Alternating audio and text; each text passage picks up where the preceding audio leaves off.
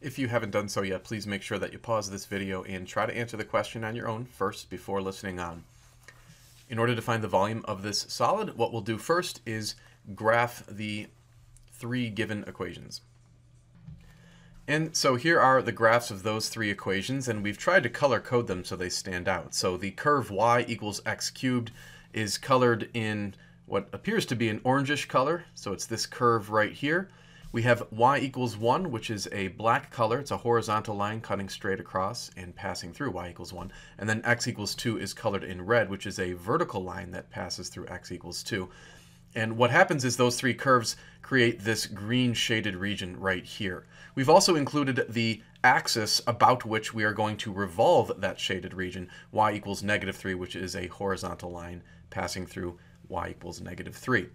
And it's often helpful after you make the sketches and fill in the shaded region to draw a reflection of that shaded region across the line about which you are revolving that shaded region. So we're going to go ahead and take that green shaded region and reflect it over this blue line right here. Now, unfortunately, because of screen space limitations here, I'm not going to be able to draw the full region reflected, but it turns out that that's not truly critical. What matters is this. After you reflect that shaded region over the line about which you are revolving the shaded region, you'll notice in this case that there is some white space or empty space between those two shaded regions, right around here. And whenever you have that white space or that empty space between the two shaded regions, then you're going to end up having to use the volume by washers method in order to calculate the volume of this solid. Let's take a look at the equation then for the volume by washers. So here is the volume equation, and it involves something called an outer radius, which we've called r outer, and then an inner radius that we've called r inner. And then we're going to be integrating in this case with respect to x. Now how do we know we're integrating with respect to x? Well, with washers, that simply depends on the axis of revolution.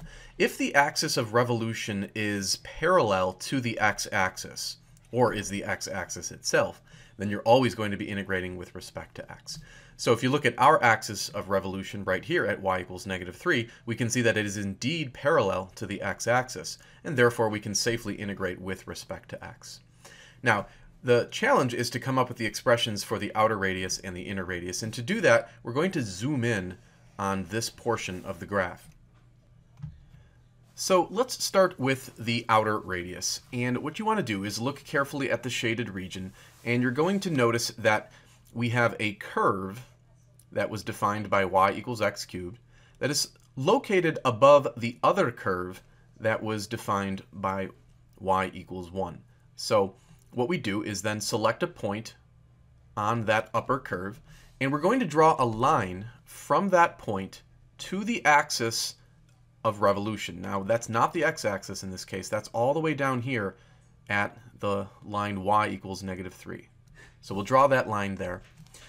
And what we'll notice, and this is a little bit tricky, so pay careful attention, that this distance from here to the x-axis would be considered a y distance. Now we call it y because it's measured in an up and down fashion or vertically. And so, of course, the y-axis is also up and down or a vertical axis. So that is y. And notice that y is always measured from the x-axis. We don't go all the way down to this line here, we have to stop at the x-axis and call that y. This distance from the x-axis to the axis of revolution, that distance, hopefully we can see from the diagram, is 3. Now what we want is the total distance of this orange line that we had originally drawn. That total distance will be y plus 3. So that becomes the outer radius. You simply draw a line from the curve all the way to the axis of revolution. It is y plus 3, but we are integrating with respect to x, which means we need our expression in terms of x. Now, luckily for the curve that this orange point is situated on, we know that the y is equal to x cubed. So we can simply replace that y with x cubed, making the outer radius x cubed plus 3. That's what we'll be plugging in right here. Now we turn to what we call the inner radius, and for that we look at the lower curve that bounds the shaded region. And the lower curve was this horizontal line right here. We put a point on that lower curve, and we draw a line from that point all the way to the axis of revolution. So that would be this distance right here. Now, looking carefully, the distance from that point to the x-axis, once again, that distance is y, and then the remaining portion of the distance is once again 3. So the inner radius becomes also y plus 3. However, for that curve, the y was defined to be equal to 1. So in fact, we need to replace that y with a 1, add it to 3, and indeed we see that the inner radius is actually just 4. So that is what we're going to include for the inner radius here. Now, we'll fill in the rest of the expression. The only thing that we still need are the values of a and b. And these turn out to be the x values, and we're using x values because we're integrating with respect to x. They are the x values where the curves intersect. So this point right here is where the curves intersect, and then this point up here, kind of hard to tell where it is, maybe it's about there, that's the other point where the curves intersect. And we have to find those points. Now this point is rather easy because if we kind of follow this line straight down, we can see that that x value is indeed 2. So we know up here that the x value is going to be 2. Now I'm calling that b because b represents the larger of the two x values where the curves intersect. So this would be the larger one, therefore b equals 2. Over here is the lower x value where the two curves intersect, and that's a little bit hard to read because I've cluttered up the diagram, but we can see that's where the curve y equals x cubed intersects y equals 1. So we can set those two curves equal to each other and then solve for x. If we cube root both sides of this equation, we can see that x is equal to 1. So that would be the x value that they intersect. It's the lower x value, so we could say that a is equal to 1.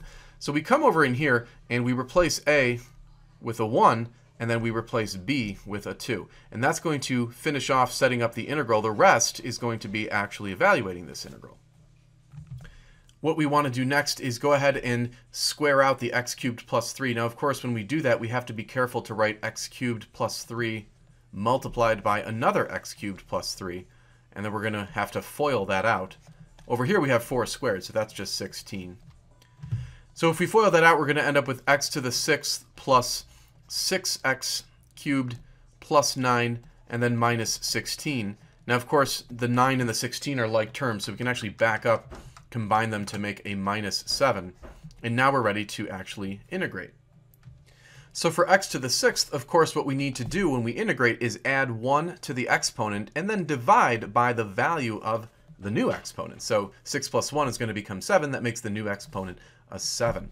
So there we will have x to the 7th over 7. We will apply the same rule here. So we'll have 6x raised to the 4th power and then divide by 4. And then the integral of 7 with respect to x is 7x. Now we can actually reduce 6 over 4 by dividing the numerator and denominator by 2 to make 3 over 2.